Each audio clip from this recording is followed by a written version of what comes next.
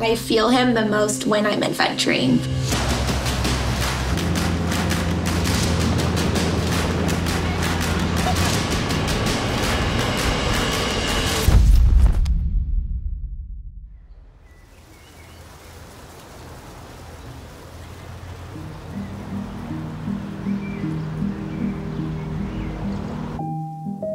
Ryan and I met when we were 13.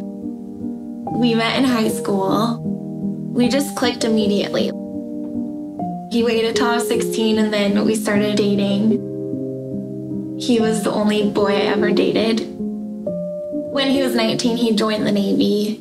He was on a ship for a while and then he decided to change career paths and go EOD, which is explosive ordnance disposal.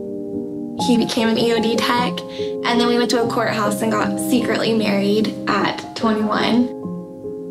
He loved adventuring. He'd come pick me up on my lunch break and be like, Yeah, I just went skydiving. He wouldn't tell anyone. That was one of the really amazing things about him is he did what he wanted and he didn't care who told him no. That's what he loved to do. He scuba dove every single day for work and we went snorkeling and zip lining in the Dominican Republic. We would go on hikes and find these giant holes of water and jump in, which I'm terrified of all things water. So, but I felt safe with him. Every single time he would book something and just tell me we're gonna do it, I'd be like, no, I'm okay, you can go. But he'd be like, just do it, it's fine, it's gonna be okay, I'm here. And every single time I would just, I would love it. He was always proud. He was fun. He was a really fun person. He was the most amazing person I've ever known. And I, I don't know if I'll ever know someone as amazing as him. Almost exactly a year ago, I get a phone call from a San Diego number that I didn't know, and something told me to answer it. And when I picked it up, it was Ryan's captain, and he said, Hey, I don't want to scare you or anything, but Ryan was in an accident, a motorcycle accident. A woman turned left right in front of Ryan, and he didn't have time to react, and his motorcycle hit the passenger side of her car.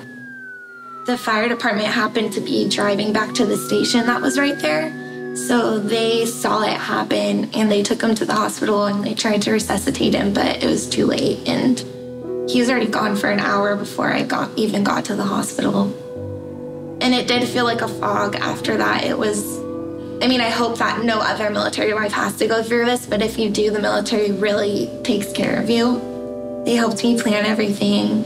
We had like a big memorial and then the burial. And then after that, it was kind of like, what do I do now?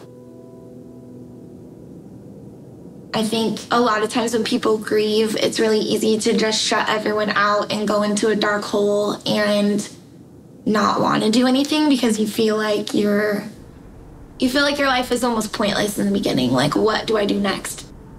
So my friends got me a Christmas present and they booked adventures for every single month of this year. They wanted to keep pushing me to do stuff and that has helped me so much. I don't even think they realized what that present meant to me and how it's helped me.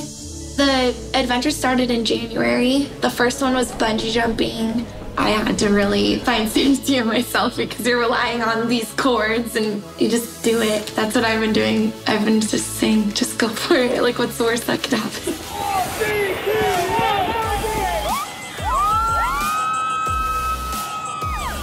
I felt unstoppable after. The second one, we went to like a drive-in theater, which I'd never done before. That was really fun.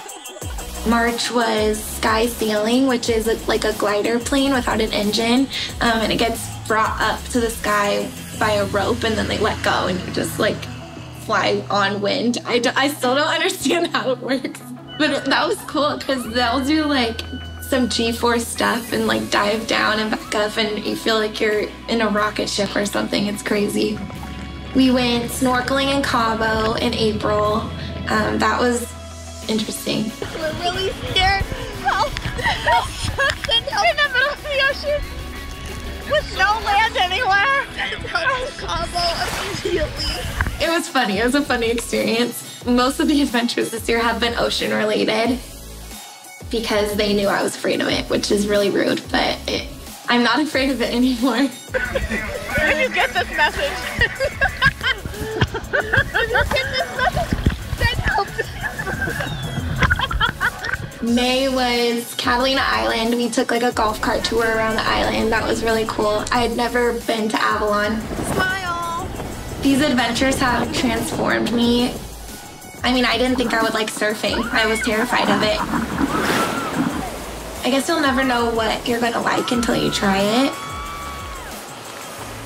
When Ryan first passed, I was worried about his legacy just disappearing.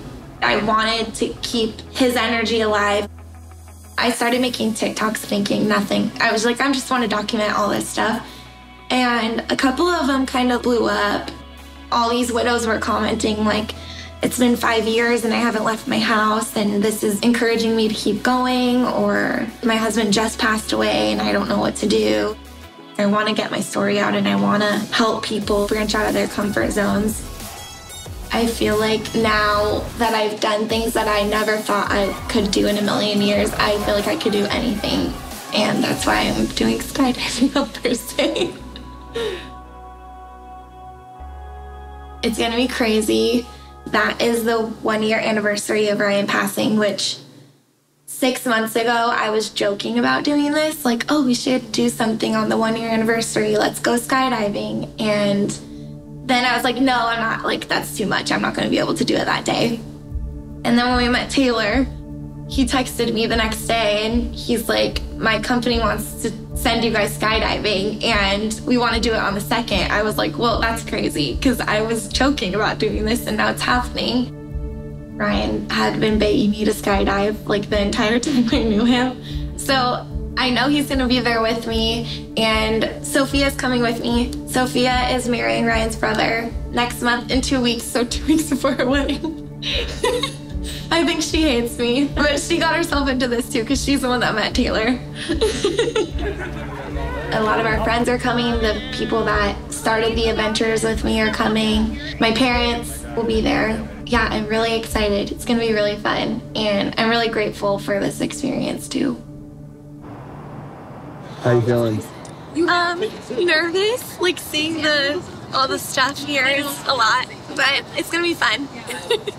Andy reached out to me, to us, and uh, let us know that there's some Navy SEAL Foundation people, you know, Navy SEAL people coming down here doing this, and asked if we would be interested in helping out. How could we not be? We want.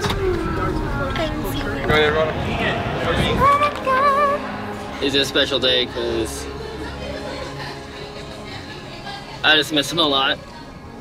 So it's just good to see Kayla jump out of an airplane, see her reaction. Yeah. Ryan would have been so blown away by this. This is awesome. I think he's going to be very, very impressed with his wife and, and what she's doing now. It's just incredible. What an experience. This is a special day for her, especially, and us. This is celebrating Ryan's one year anniversary. We're doing it in style.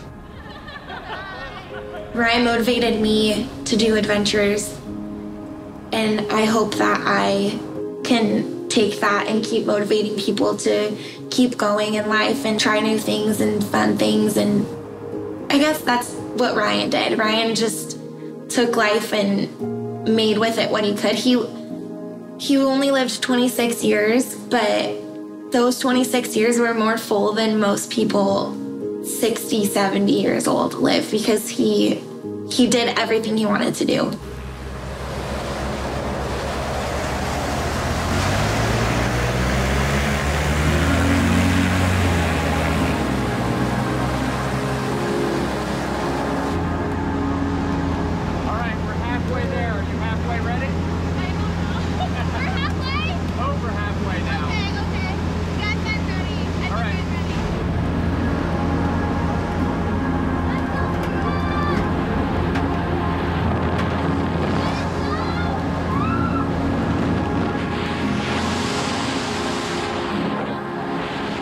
Really feel like these adventures are keeping his legacy alive and his life should be celebrated.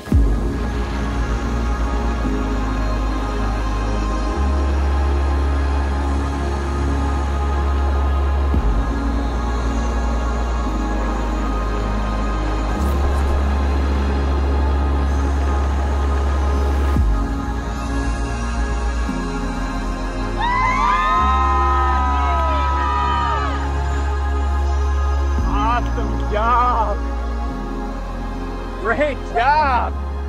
You did awesome. you did great. It was amazing. I can't even describe the feeling. It was insane. Here, stay with me real quick. Stay right. Oh, how cool. Yeah.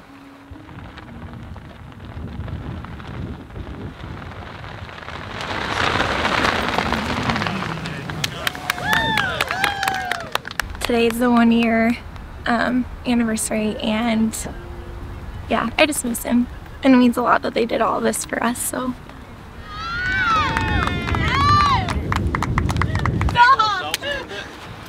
How was that? Amazing. Thank you guys so Absolutely. much. It was incredible. How was written down? My son would be very proud. He would. He's probably cracking up right now. He's probably like, you did it. I didn't think you would. You finally did it.